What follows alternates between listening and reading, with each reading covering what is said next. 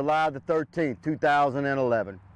He was last seen leaving his residence on Bayou Road in Port Barre, driving his blue 1991 Mazda Miata convertible.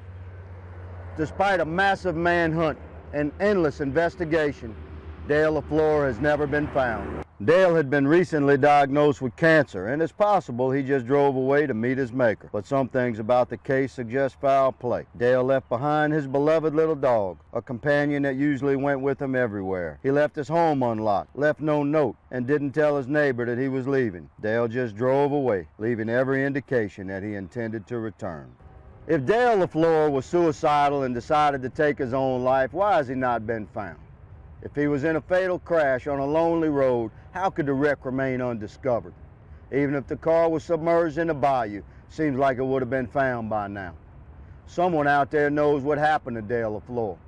Someone out there can put this man's soul to rest.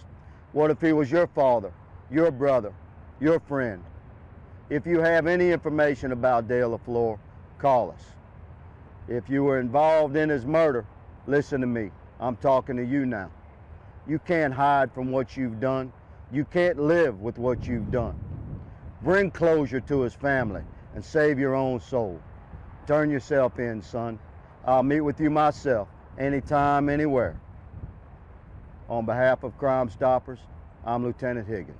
If you have any information on this crime, call Crime Stoppers at 948 TIPS. You could earn up to a $1,000 cash reward